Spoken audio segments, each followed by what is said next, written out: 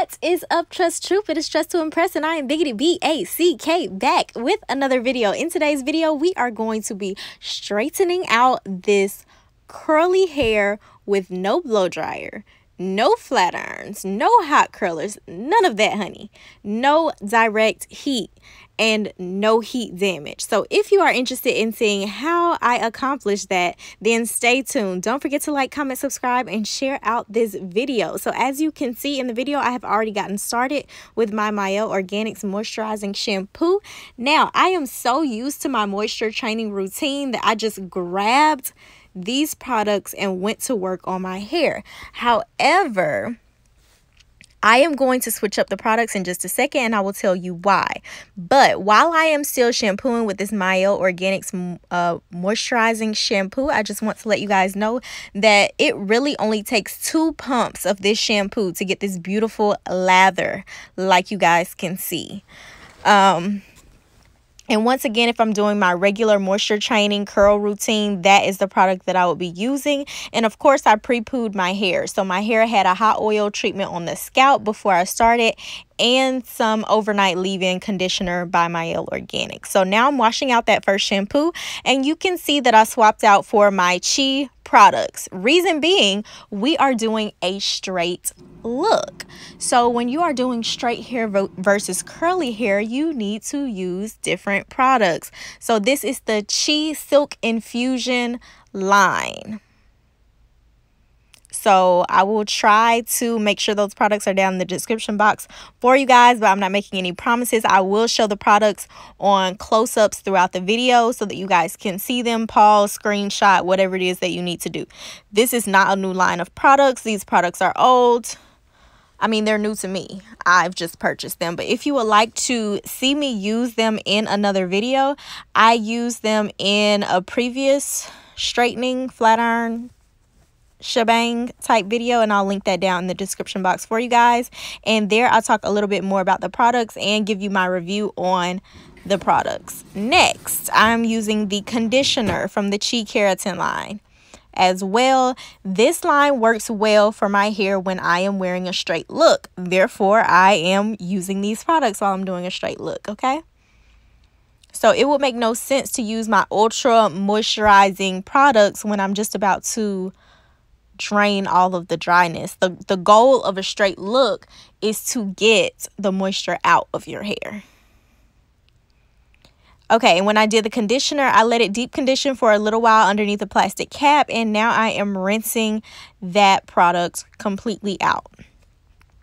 Now, at this point, in hindsight, I feel like this would have been a good place after this rinse out to add in the um, Chi Silk Infusion, but I did not do that. I only added the Chi Silk infusion leave-in conditioner. That's what i'm spraying on my hair right now. I'm sorry i did not show you guys a close-up of that product but it's just a spray on leave-in conditioner. And then while my hair is still dripping wet i am just going to tie it up in a plastic cap as i prepare to go ahead and get my roller set underway and now I'm pulling the plastic cap off. The reason for that is you do not want to let your hair air dry at all. I've seen people do roller sets before and they let their hair air dry um, because you want to cut down your dry time. All you are doing is messing up your final product. You want your hair to be soaking wet, like drenched when you're rolling it on the rollers. Like right now, my hair in this video is not even wet enough, but I use a lot of setting lotion and I even spray extra water onto my hair. So it's no big deal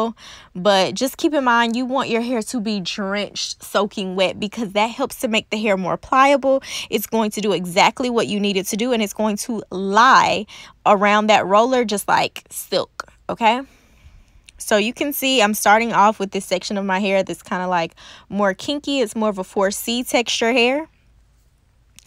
And the parting is like the most difficult part. So of course this is in like a time lapse, but the parting takes some time and some patience. But what I do first is I just start out my parting just like any professional would um, using a magnetic roller set.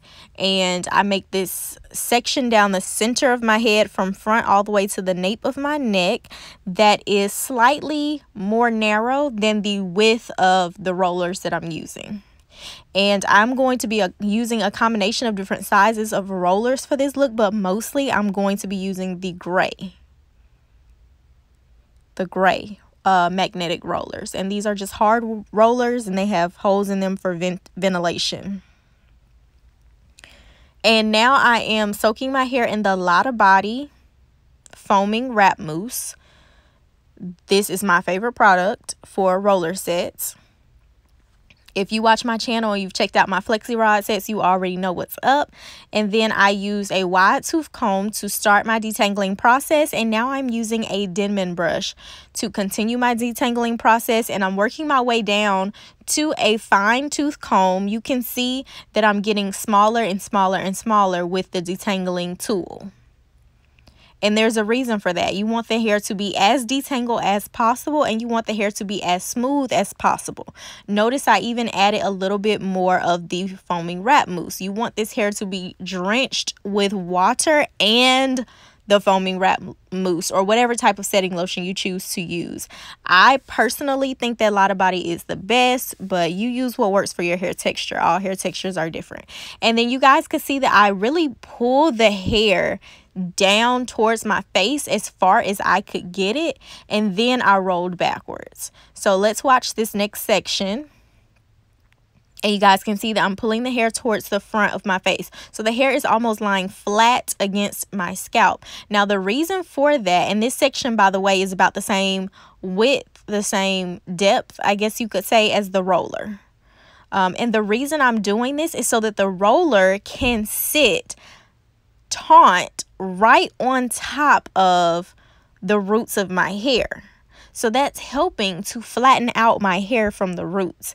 If I were to just pull the hair straight out from my head and roll down, the, there would be a lot more puffy section at the root. But in this way, I have the roller sitting on top of my curly roots and then I'm clipping it into place so it does not have much room to curl up or frizz up.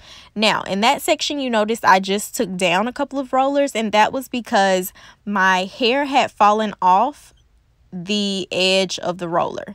If your hair starts to come off the edge of the roller, then that piece of hair is going to dry curly and we don't want that. We want this to be as neat as possible. So the main thing that I can encourage you guys to do, the biggest tip that I can give you is to take your time and do all of these steps correctly. I'm explaining everything to you. If you need to save the video, watch it over again, do it, sis. I promise you, you are going to love these results. And now, if your hair is a kinkier texture than mine, I cannot promise, you know, the same results, obviously. But if your hair is about the same as mine or even a looser curl pattern, you'll definitely get good results. The looser your curl pattern is, of course, the better results you're going to get with a straight styling duh because you're closer to straight. Also notice on the front two pieces of my hair i used a smaller roller. The purple is smaller than the gray and that is just simply because um i want my it's my hair right there is not necessarily shorter it's actually longer but i want my bang to have a little bit more curl to it. The gray is more so just big to stretch out my hair and get it dry as quickly as possible. Um, the purple is going to give me a little bit more curl. Another big part of this is actually choosing the correct roller size. So now at the back, I've gone back to purple and it's not because I want that section to be curlier, but it's because my hair is shorter. The way it's cut, my hair is shorter back there. So my hair is not going to fit around the gray roller the way it needs to to hold my ends tight. So I have to go down to a smaller roller. And then this very back section is even shorter. So I'm having to go down yet another size. And you go down to whatever size you need to. Um, in order to get your hair done. That was me celebrating just a little bit because once you get that middle section down, your arms are tired and you are just going to feel like you just conquered the world because once you finish that part, the rest is a breeze. So now I'm moving on to the side section and on each side I do two rows of rollers going straight down. And once again this hair pattern I just get from like professional beauticians, professional stylists. I guess this is what they learn in beauty school. I don't know, but I when I got my hair permed, let's see, I was getting my hair permed from the 6th grade all the way up to the 12 to my first year of college. So that's quite a few years and I always just watched my stylist do my hair and I always watched my mom get her hair done. And I just always took notes as to what was being done. And this is how she always did her roller sets. And i've seen naturalistas do their roller sets in different patterns. Um, they might even roll the hair like basically so it'll fall into the style that they're trying to achieve. I've never done that. I've always done this exact same pattern that you see me now, whether I was relaxed, natural, Texlax, whatever the case may be. And that is because after you wrap your hair, everything is going to press out so smoothly and you are going to be able to part your hair wherever you want it to be parted and manipulate the hair from there. So you just do this kind of generic roller set and then after you do your wrapping process and you straighten the hair out a little bit more then you can choose a middle part or a side part or whatever you want also down the middle row, I just wanted to point out that I rolled all of the hair going back away from my face. When I got to the front, I did not roll that hair towards the front of my face because you want your hair to fall almost like a curtain bang where it just kind of falls over your face and then it kind of swoops back and away from your face. So I curl everything going straight to the back down the center. And then on the sides, you can see that I'm rolling everything downward. So you can see I had to use a little bit of purple at the at the back yet again and a little bit of purple on the side simply because my hair is shorter in those areas y'all. I have a um I have an angled bob cut so it's shorter in the back and longer in the front and it's a little bit short on those little side sections. And then from there I just kind of tried to make the opposite side of my head as symmetrical as possible to the first side of my head where I use the same amount of rollers, the same sizes in the same places, and so on and so forth. And I am actually extremely curious to try this out again. When I try this out the next time, I think I'm going to use purple all the way through. Um, because my hair wasn't quite it was a little bit looser than I wanted it to be. It didn't have like that curl curl to it. I wanted it to have that curl like where it looked like I curled it with the flat iron, but I only got that look from the very front section. Like where you see I put those two purple rollers, that part curled to perfection. You guys are going to see in the end of the video. But the top in the middle, it didn't really give me exactly what I was looking for. But you know, it's all good. It still came out great, you guys, especially to say that this was my first roller set um, on my new haircut. It was really my first roller set in a long time as far as these magnetic rollers, but definitely my first on this cut. And as you know, if you've been watching my videos, I limited myself to uh, how often I can straighten my hair out. So I limited it to once per month. And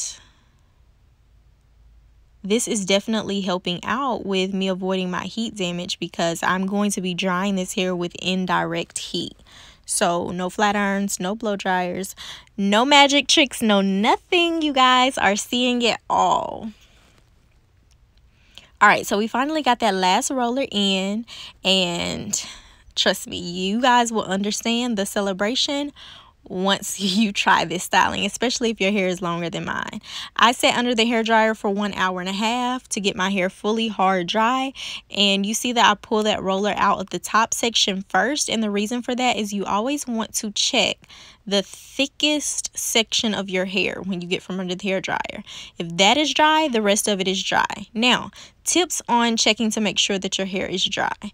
If the hair is not sticking to the roller, it's probably dry. If it doesn't feel damped, it's probably dry. If it's springy, like you see I'm pulling down on my hair on each section, if it bounces back up, it's dry. Now, if you pull it and it goes limp, no. Oh no, ma'am. Roll it back up, get back under the hair dryer, it's a disaster. Or if it sticks to your roller, disaster.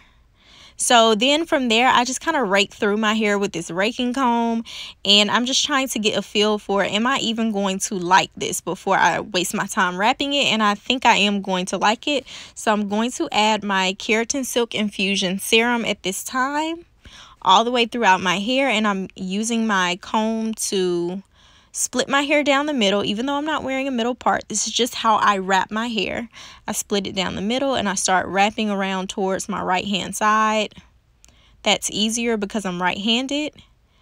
And because this hair is curled it's going to naturally kind of cling and wrap around your head without falling. So that's nice and I started off with a larger bristle brush. Now I'm using a smaller soft bristle brush just to make sure everything is super, super smooth, like as smooth as I can get it. And then I'm going to wrap the hair as tightly as I possibly can with some cling wrap, saran wrap. And you need some that's really, really clingy. And you get back under the hair dryer. I got back under there for 10 minutes. And now I am going to unwrap the hair.